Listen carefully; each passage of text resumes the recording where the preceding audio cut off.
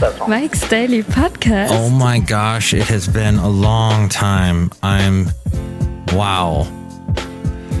Sorry about that, you know. Mike's Daily Podcast. I try to bring you a podcast every day, thus the name Mike's Daily Podcast. But the past couple of days, well, I've had some things going on, done lots of cool things, so I guess that's not wrong, but that's the end of my song. I'm going to tell you, I'll try and be a little bit Mike's Daily Podcast. more, um, what's the word?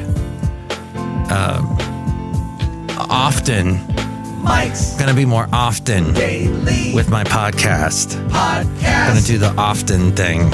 yeah. Often powers. It's F episode F F F F episode 2706 2706. It's Mike Matthews here at Podcastro Valley at Cafe Anyway, the last place on earth. That's where we are. We're going to have some riotous enjoyment and fine times. We missed National Cappuccino Day, National Scrapple Day. What else did we miss? Um, National Sunday Day. That's confusing. That'd be the ice cream. We miss, we miss National Pizza with the Works, except Anchovies Day. National French Dip Day. Oh. National World Kindness Day. Actually, it's not National World Kindness, it's just World Kindness Day. Miss that. And I think that's pretty much it. So I have lots to get caught up on. I might even have a call. Somebody actually called me at my number here at Cafe Anyway, the Cafe Anyway hotline 510 228 4640. That number is also at our website, mikesdailypodcast.com. Yes, and I'm going to tell you what the podcast picture is. I'm fully prepared to tell you what it is because I mapped out everything ahead of time on this program. And here's today's podcast picture. Ooh, I think it'll be a picture from the wonderful holiday Christmas lights parade thingy that was in Podcastro Valley. I remember when the first one started, I think in 2017, possibly. And they opened up the, they did it because um, Podcastro Valley, the Castro Valley Boulevard, had all this work on it, done on it for years. The late great Basil the Boxer and I were there, as a matter of fact, as they were opening this for the first time, and they had a festival. They called it Meat on the Street back then.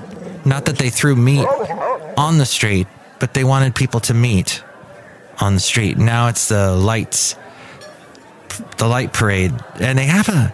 I don't know. Uh, hopefully, nobody from Disney was there because they had a float in the parade that looked like the electric light parade from Disneyland. You know, I mean, people, you know, people get stuck on stupid. You know what I mean? Pretty much. I don't know how many people from the Bay Area go down to Disneyland. It's quite a drive. I mean, if you're going to go all the way to Anaheim, you might as well book a hotel, book a couple of nights. It's going to cost a lot. Just going to Disneyland one day costs a arm and a leg. So, I guess people have a lot of expendable money. I got through that. I got into it. We were talking about in recent podcasts how Gen, Gen Zers love the whole experience thing, doing experiences. So let's see. I have some interesting stories to share with you. I did get to, and I should post a podcast picture of this. Uh, on the same day that I saw the Podcastro Valley Parade of Lights thing, there was a uh, oh we went to the rosie the riveter yes. Finally went to there in richmond and saw it. It's free. It's This not enormously big. It'll take you some time if you read every single display but there's there's a lot of interesting stuff there. Talks about just the the fact that this was one of the first times in history that so many women, American women, got together, and women from outside of the country coming to America to be uh, become citizens, and this was their way in, and they used it to uh, make a life in America, a very difficult life because it was working with all kinds of machinery and working on these huge ships. And Kaiser, is it Henry Kaiser was in charge of it all, who would later create Kaiser Permanente. Kaiser Permanente actually refers to his cement making business. He was known for making cement and built the dam out in Las Vegas. Bands mutations. Mutations. Mutations. We talked to a guy at the museum. There was a talk. They have a theater, a little theater, and this guy was doing a talk and explaining how that very iconic Rosie the Riveter poster was actually hidden in a drawer somewhere and it was used for just a couple of weeks during World War II at some factory somewhere. And then when the women's rights movement got so big in the 60s and 70s, somebody found that poster and it suddenly attached to that movement and became the iconic poster that it is today. This author who was giving the talk also talked to me and my lovely lady friend afterwards and said how the Kaiser guy, which is ironic, isn't it? His name is Kaiser. In World War One, we fought a Kaiser. So what the? And now here's a Kaiser helping us fight, but his last name was Kaiser. So he had this uh, cement business. Oh, and he was the the author said he was kind of like a Elon Musk without the baggage. This is Mike's podcast picnic.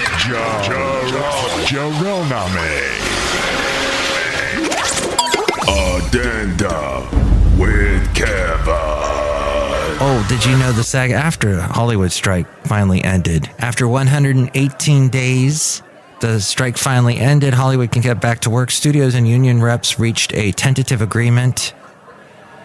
This was about a week ago, meaning the strike ended at 12:01 Pacific time on Thursday last week, and production can start up again within the next few weeks as we go outside a cafe anyway, where we bring you Mike's Daily Podcast somewhere in Podcastro Valley. Anyway, the last place on earth. magnification. As you know, there's a real scary holiday coming up. We had. I've gotten so many interesting emails at Mike's Daily Podcast at gmail.com. MTV News.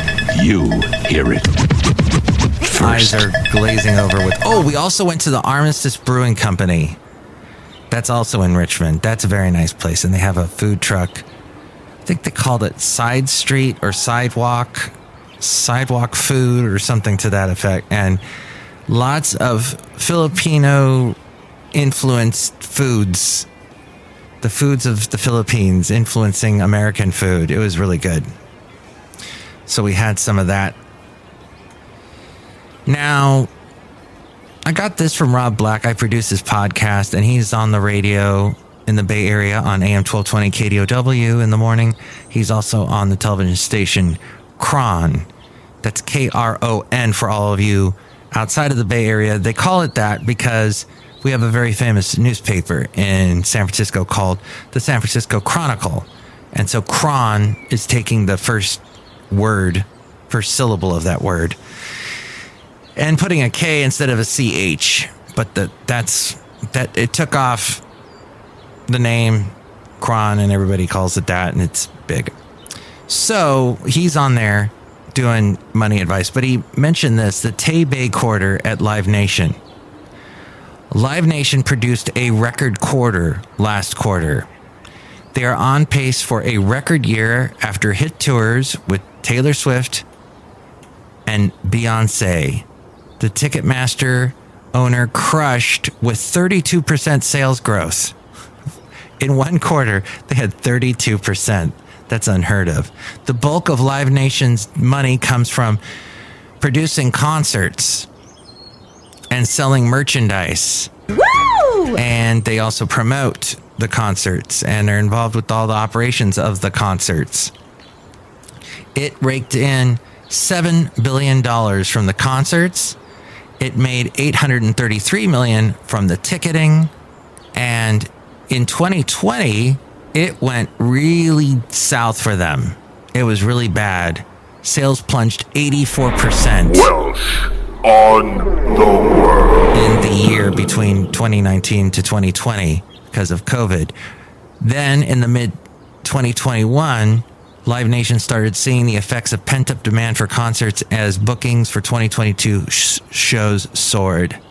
Now, if I was a betting man, and an investing man, and you know, thought, oh, I would never have predicted that. I would have thought people would be too afraid because people were so afraid during COVID of going outside, of go, of being with other people, of mingling. I thought, oh, that's that's never going to go back to normal. And I heard people say as much on NPR of all places. So take anything they say with a grain of salt. And that's I think in England they don't say it with a grain of salt. They just say take it with salt. they don't care about the grain. Then the enthusiasm is still fueling the concert industry with that backlog enthusiasm, we'll call it, letting Live Nation charge higher ticket prices without losing volumes. Live Nation has sold a record 140 million tickets so far this year. Already, they're topping last year's totals. And there's the t shirts for the Eras tour with Taylor Swift and the Beyonce hoodies. Kathy's Corner. Kathy's Corner. Other tours included Harry Styles, Lizzo, and Bruce Springsteen. Holding court with Lady Katie. Lady Katie. The Royal Trump Tweet Decree. It's the third year of collegiate athletics where students, athletes can financially benefit. Last year, athletes made about one two, $1.2 billion in deals, an increase of about 11% from the year You will before. travel into the incredible universe. Fabagoo. Things to do. Things to do. Baskin Robbins has introduced a Turkey Day Fixin' ice cream, which combines sweet potato and autumn spice. Oh, that wonderful autumn spice. What's in autumn spice? Nutmeg, cinnamon, something else. Cardamom? No.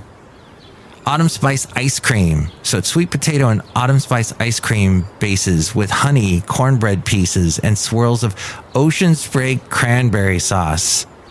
And Baskin Robbins, their ice cream is so overpriced. Oh, Starbucks. And I heard there was a, another strike going to happen. Red Cup Day.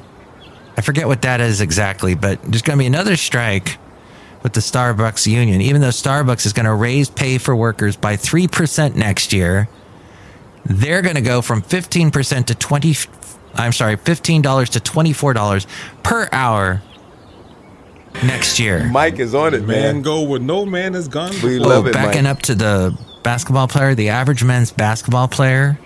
Well, we are talking about college basketball, but the average men's basketball player with a collective deal earns thirty-seven thousand dollars. That's that seems small to me. It seems very small. Hmm. Although I work in radio, so that actually kind of looks big. But hey, um, WeWork not doing so well with the money either. They filed for bankruptcy. They were once valued at forty-seven billion dollars. Outside a cafe, anyway, somewhere in Podcastro Valley. Look who's here. Hello, Mike Matthews. Chely Shoehart, gift shop supervisor. Well, Mike Matthews, I really would like to get that ice cream that sounds like autumn fun, Mike Matthews. Really delicious. Yes, it does. Are you okay? Yeah, Mike Matthews. Retainers. One of these days, you'll get those retainers off and you'll be so happy. Yeah, I'll actually be kind of sad, Mike Matthews. Sod? Yeah, I'll be sad. Oh. Okay, well, uh, and you've got the snow globes you're selling for autumn? Yeah, instead of snow, it's little bitty leaves swirling around in the autumn snow globe, Mike Matthews. Wouldn't that be a leaf globe? I'm leaving. There she goes. Look who else is here. Oh, Mike, this is Floyd the Floor Man. And this is John Deer, the engineer. Mike, I heard you got a call. Mm-mm-mm-mm. When you are a man, sometimes you wear stretchy pants. And real quick, so yours truly trying to find a deal on Amazon. And here's what I found is I wanted to find something because I have so many cassettes of me on the radio from 20, 30, 30 almost 40 years ago. Um, well, I found this thing on Amazon where it's a cassette player and you stick a USB USB uh, thumb drive, a USB stick into this little part where you can put one in and you hit play on the tape on the cassette player and then there's a little record button and it's supposed to record digitally what's on the tape onto the little USB stick onto the thumb drive. and great idea in theory, right? Well, it skips. It skips, and somebody said, "Oh, well, how old's your USB stick?" I said, "Oh, this one's about ten years old." He goes, "Get a newer one." So I got a new one, and I put it in. It still skips. So, oh, such a great idea. And I know a lot of you listening have cassettes that you would probably like to transcribe to digital. Mike's cassette copy put on your computer. But no, apparently they have not perfected this. At least what I was using. And I didn't really see anything else on Amazon that did a similar job, that was supposed to do a similar job as this thing. So, anyway, Cafe, anyway, I'll see what I can do. I'm going to try and play with some other things that this cassette player can do, but it definitely cannot record consistently in a good way the way I would like it to, which is kind of sad. Hey, you know what it is? It's really sad. It is time now for the phone call. Let's listen, shall we, to see what they had to say. Oh, let me press. I have to do this. I forgot to press one other button. This magic button over here that puts it into your ears. Here it goes. Hello, Mike. Hey, how are you? Oh, I hope you're doing good. This is Bill. I listen to you right here in the fine town San Leandro. Listen, I wanted to tell you you were talking about anxiety last time. Anxiety is no laughing matter, Mike. You shouldn't make fun of it. You shouldn't even talk about it for all you do. You should just shut up about that, Mike. Wow. Because on your podcast, you influence a lot of people like you are an influencer. That's what you are. What? Mike, I gotta go. Nice Scottish accent, by the way. Spanish accent? Hmm. That's right. We had a little help from ChatGPT on the way, on what you're supposed to do if someone calls you and they're having problems with anxiety and they're, they're having a breakdown and they call you. And anyway, that cafe, anyway, that was the last podcast, which was entitled Befuddled, which I certainly was. But if you would like to reach me, here's the number. Call Mike at the Cafe Anyway hotline. Area code 510-228-4640. And to see the podcast picture and find out how to email me and all that stuff, that's right here with A Frame. Mike's Daily Podcast is written and produced and performed by Mike Matthews. His podcast is super easy to find. Download or listen to his show and read his blog at mikesdailypodcast.com. Email Mike now at mikesdailypodcast at gmail.com. See you tomorrow. Bye.